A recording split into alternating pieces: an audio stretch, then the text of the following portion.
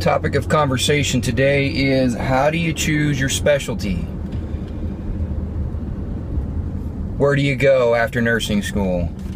We all get it a little exposure to the basic nursing specialties, everything from med surg to ICU, OBGYN, a little bit of peds, surgery, PACU maybe, and at the end of the day, you have to decide, hmm, where do I want to go? What what do I want to be when I grow up?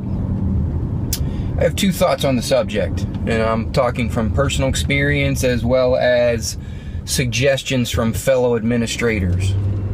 My first thought is happiness. What makes you happy? Better yet, what do you mind doing for the rest of your life that is not considered a job? Of course, nursing is a job, nursing is also a career. I believe nursing is also a calling. And the great thing about nursing is that there is an unlimited number of choices, which can also be a problem sometimes. So, when you're in nursing school, or when you're going to apply for that first job, think about the job itself. And if you don't know that how how the job runs, maybe you should go shadow somebody. Find out how the daily work day runs. Find out if you can picture yourself doing that for a number of years. Can you get up every morning and go to work without having to literally drag yourself out of bed? If the answer is yes, or if the answer is even maybe, then I say give it a try. For me, it was uh, critical care. It always has been, always will be. When I did my critical care rotation, I enjoyed it from the start. I enjoyed everything about it. And I can still remember vividly the last few days of that rotation and how I how much I wanted to go back. So that's my first thought. What makes you happy? My second thought is my own personal experience. It's the aha moment when you're in nursing school.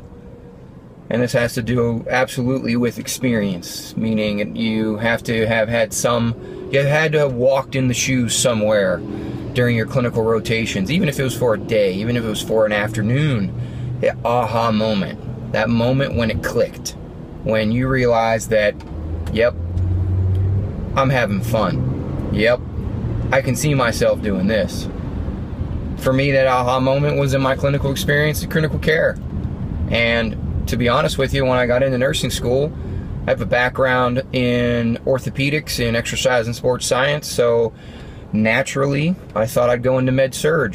Thought I would go into uh, specialty in orthopedic floor with post-op patients. And during that rotation in nursing school, I did enjoy myself, but it was Uh, I hate to use the term easy because I had prior experience. I had years of experience, not in nursing, but in orthopedics.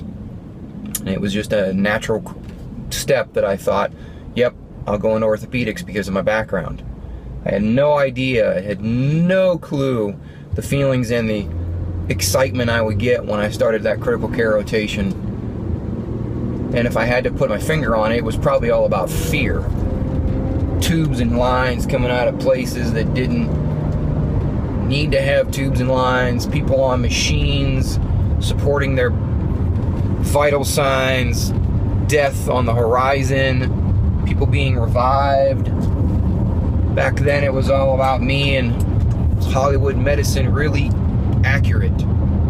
After that small one, two, I think it was two weeks, two weeks, maybe three, three rotation on critical care, I realized that first, Hollywood medicine was way wrong. And second, I loved critical care because of the excitement it brought.